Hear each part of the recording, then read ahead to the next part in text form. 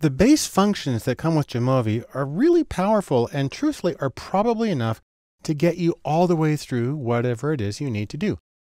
On the other hand, Jamovi is based on R, the statistical programming language, which has about 10,000 packages available that give extra functionality to R. And it turns out you can do a similar thing with Jamovi through what are called modules. Modules are to Jamovi what packages are to R or to Python. They give you extra functionality. So for example, if you open up Jamovi modules.omv, you'll see that I have the standard correlation matrix uh, right here. You can click on this and then you'll see the commands that come under regression. That's where they come from right here. And I'm looking at the sepal length and the sepal width of the iris data set. And we've got the correlations here, the p-value, and we've got a scatter plot. It goes down in this one corner. It's actually built for doing a matrix where you have many variables. But, you know, we get some cool stuff. We get the regression line, we get the standard errors around it, we get density plots for the two variables, and we get the correlation written up here in small corners. But there's a module that allows you to do more than that. If you come up to modules and down to Jamovi library, what you'll find is there's about a dozen modules that are currently available. And the Jamovi developers are making a strong push for R developers to convert their R packages into Jamovi modules. They have instructions on how to do that on their website. And once they're available, you can sideload them, which means you download them separately and then import them into Jamovi.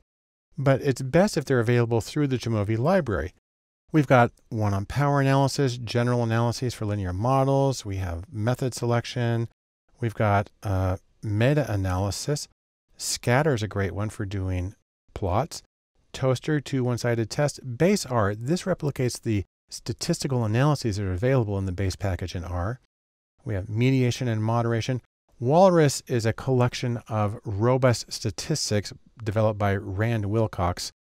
And then we have survival analysis called Deathwatch and even a little video game here called Jamovi Arcade. All you have to do is click on install and it'll put it in there and then it'll be listed here under installed. Everybody gets this one Jamovi. That's the default.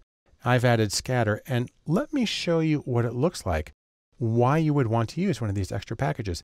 This is the default version of the scatter plot matrix. I'm going to close the thing here by clicking on the side. But here's the one that I made using the scatter module. And you can tell, among other things, it's a lot prettier. It's got more colors going on in it but it allows me to break down the scatter plot by the species of the iris. And there's a really important thing here. Let's go back up one second here. This is basically a flat and essentially zero regression line through the data.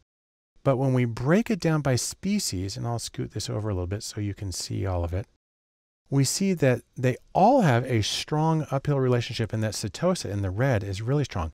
And then we have the density plots for each variable broken down by the categories on the side. And if I click on this, again, it brings up the menu from the scatter module. And that one, by the way, goes under exploration to scatter and has two functions, scatter plot and Pareto chart. But I'm doing this one right here. And it's a great way to get some additional insight. And so modules in general their role is to bring extra functionality, extra things you can do with your data into Jamovi. Currently, there's about a dozen, but as Jamovi grows and develops, more people who create packages for R will learn to adapt them for Jamovi and give it even more power and even more possibilities.